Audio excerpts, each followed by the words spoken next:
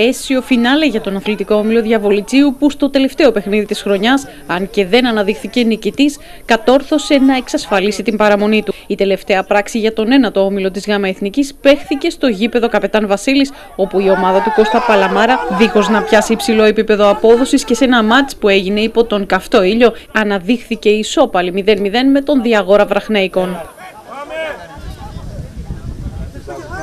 Μια χρονιά που οι ομάδες της Τρίτης Εθνικής πέρασαν από 40 κύματα ελαίο της πανδημίας του κορονοϊού. Ωστόσο το Διαβολίτσι κατάφερε να κάνει δυναμικό comeback με την επανεκκίνηση του πρωταθλήματος παίζοντας στα ίσια ακόμη και τα φαβορή. Όμως τα τελευταία μάτς, δύο στραβοπατήματα, το οδήγησαν στην δινή θέση να διεκδικεί την παραμονή του κυριολεκτικά την τελευταία στιγμή. Μετά το 0-0 με τον Διαγόρα Βραχνέικον, οι Νερατζούρι διατηρήθηκαν στην 8η θέση που εξασφαλίζει την παραμονή την ίδια ώρα που και η Αχαϊκή έμενε στο 0 με τη Ζάκυνθο, με την τελευταία να πανηγυρίζει τον τίτλο της πρωταθλήτριας του ενάτου ομίλου της ΓΑΜΑ Εθνικής.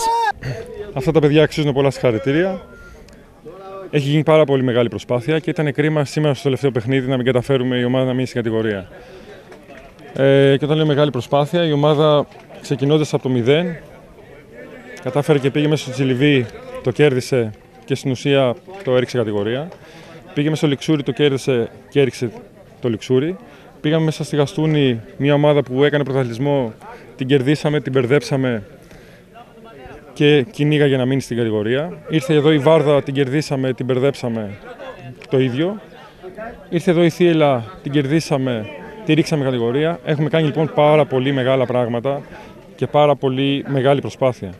Δυστυχώς με πολλά προβλήματα και και θα έλεγα αυτές οι περίεργες διακοπές ξεκινάμε, σταματάμε, αποσυντονιστήκαμε και είχαμε δύο ανεπιτυχή αποτελέσματα. Αυτό εδώ με τον Μπάμισο και στην Αχακή με αυτό που είδαμε και αυτό που έγινε. Και θα ήθελα να, να έχουμε μπορέσει να τελειώσουμε τη δουλειά πιο γρήγορα. Εντάξει, εμείς είχαμε το κίνητρο του, της δεύτερης θέσης, αλλά πιο πολύ είχαμε και το μυαλό μας μήπως επειδή είναι ποδόσφαιρο ε, διεκδικήσουμε με κάποιο τρόπο και την πρώτη σε κάποια αποτελέσματα. Όμως δεν θέλω να μείνω σε αυτό το παιχνίδι εδώ. Αυτό είναι μια στιγμή στο ποδόσφαιρο. Θέλω να μείνω στη συνολικότητα, η οποία αυτό ήταν και το ζητούμενο. Πώς μια ομάδα μπορεί να βελτιωθεί και να εξελιχθεί. Και η ομάδα η δική μου ε, είχε σαν στόχο και σαν ε, ε, προσδοκία να φτάσει σε ένα επίπεδο τέτοιο το οποίο θα μπορεί να πατήσει για να βελτιωθεί και να εξελιχθεί περισσότερο και την επόμενη χρονιά. Σήμερα ε, κυρίαρχος σκοπός ήταν το αποτέλεσμα να σωθεί η ομάδα σήμερα. Δεν υπήρχε κάτι άλλο. Γιατί ε, δεν θυμάμαι κι εγώ πόσα χρόνια παίζω από τη Δέλτα Εθνική και σε παραπάνω κατηγορίες και στον τοπικό. Αυτό που έγινε την, τελευταία, την πρώτη τελευταία αγωνιστική, εις βάρος της ομάδας μας, δεν το έχω συναντήσει. Μιλάω για τη διατησία. Στην ουσία έγινε εντός εισαγωγικών κλοπή. Γιατί η ομάδα ε, είχε το αποτέλεσμα, κέρδιζε και μέσα σε 10 λεπτά κατάφεραν οι διαιτητές να διαμορφώσουν αποτέλεσμα. Διαμόρφωσαν αποτέλεσμα. Ήταν κρίμα όλη αυτή η προσπάθεια που έγινε ε, να μας τη στερήσουν με άδικο τρόπο. Τέλος, καλό, όλα καλά. Και να πω σε κάποιους ότι να μην βιάζονται να μιλήσουν και να πούν μεγάλες κουβέντες. Να περιμένουν μέχρι το τέλος.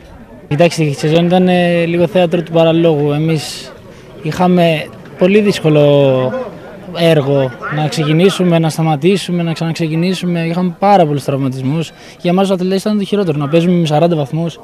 Ε, για 2-3 μάτια στην κατηγορία, τα παιδιά εδώ να παίζουν τελευταία αγωνιστή στην κατηγορία με 40 βαθμούς είναι πολύ δύσκολο.